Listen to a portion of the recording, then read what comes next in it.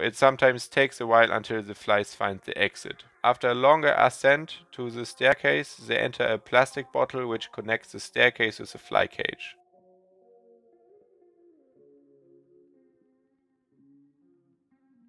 기달래, Today's mission Harvest and Pupate Box update. The plumbing which leads into the Black Soldier Fly larvae harvesting box needs to be updated. Find a way to connect it to the staircase section of the aquaponic composter module. Tip the lid of the box is already modified. Okay, let's see. Last time Conrad used fly screen to mend the holes in the black soldier fly rearing cage. Fly screen will definitely come in handy for the connection of the harvesting box, but I think some other pieces are necessary as well, which need to be put in place and properly secured. I guess it would be possible to just glue the parts into place. Not with silicone though, but I think with the hot glue gun. Let's go. In the first episode of this aquaponic composter module sub-series, we already changed the plumbing of one of the exits of the God module, the one which leads to the fish tank. The other exit leads into the harvesting box, where the black soldier fly larvae can pupate and transform via metamorphosis into adult black soldier flies. This exit is connected to a T-joint, which splits the pipe to go below the base plate where the box is located. The other purpose of the T-joint is the connection from the pupate box into the fly cage. The black soldier flies did not use this pipe since it was too dark and they are attracted to light, which is why there's a different route from the box needed. This pipe can be removed. The new position of the box will be on top of the panel here, which acts as baseplate for the entire composter module. The pipes are connected tightly and need some wiggle to loosen. Once a certain threshold is crossed, the disconnection goes smoothly. The lid of the box has a sock-like tube made from fly screen attached, which can be reused for the connection to the staircase section.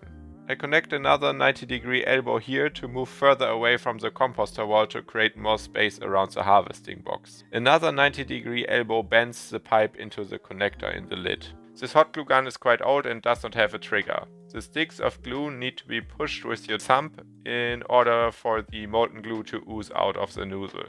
The advantage of this is that it is possible to recycle drops or collected glue scraps from other projects. If the chamber is quite empty, the reclaimed pieces can be put into the chamber and will be pushed into the melting area with a new stick. In this way, the glue can be used many times over, reducing waste.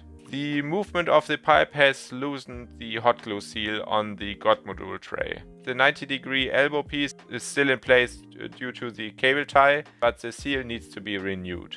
I just apply a layer of hot glue here. The lid has an area of fly screen where the larva can't stick to. There's also a piece of pipe connected to the mesh of the fly screen which can easily be connected to the pipe fittings. The pupate box can clamp shut on four sides, which seals it tight and prevents larva from escaping through crevices. Since there is a constant stream from the larva harvesting themselves and flies emerging, it is sometimes difficult to open the box because flies will escape. I need to find a different solution here, probably something which separates the pupate box from the new harvested larvae, but then again this would require more maintenance and it is more or less a self-regulating system which I do not tend for every day. If you again have a suggestion here, let me know in the comments below. The fly escape route needs to be connected to the staircase. The attached fly screen tube from the lid will be the first section of this route and can already be glued in place. As building blocks I use pieces of plastic board which was used in the voting campaign from the local party. I got a huge stack of unused boards from the party's office upon request once the campaign was over. I'm in no way affiliated with this party and it could have been any. I like the material a lot though. It's very lightweight but sturdy and can be cut easily. I for example used it for all the different composter versions so far.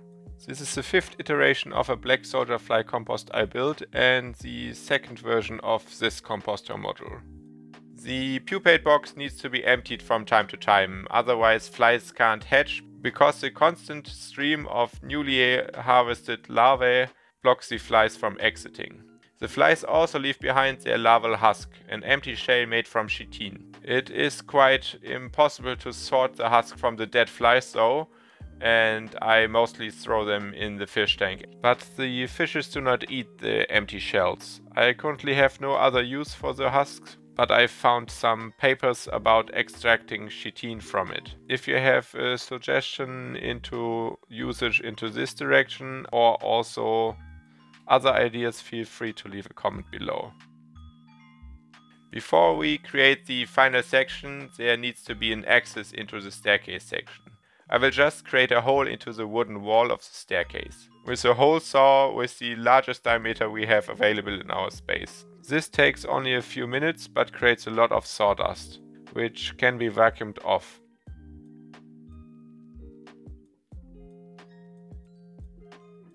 I use this opportunity to vacuum the staircase section as well.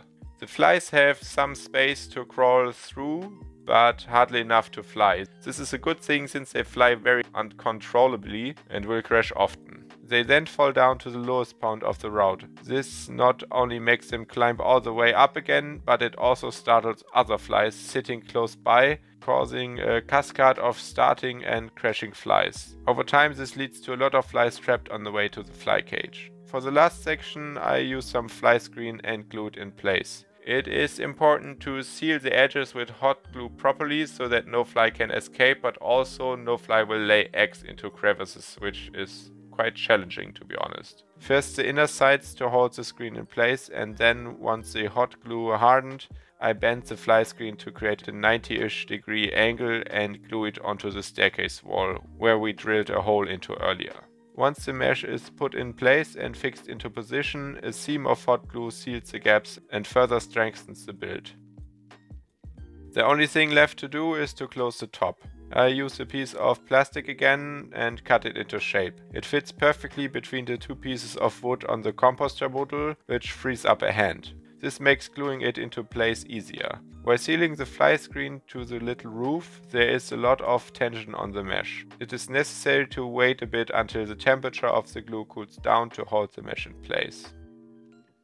While crawling, the flies behave a bit like a Roomba vacuum robot. They crawl until their antennas feel resistance, aka a wall, and turn. Left, right or 180 degrees. They do not always notice that an obstacle might just be a small step. So it sometimes takes a while until the flies find the exit. After a longer ascent to the staircase, they enter a plastic bottle which connects the staircase with the fly cage. After a squeeze through the modified net pot, which acts as lid, the flies arrived at the destination. This concludes today's mission subscribe for the next episode and leave some feedback in the comments below. You could also check out this video. Or if it's your birthday, maybe this one.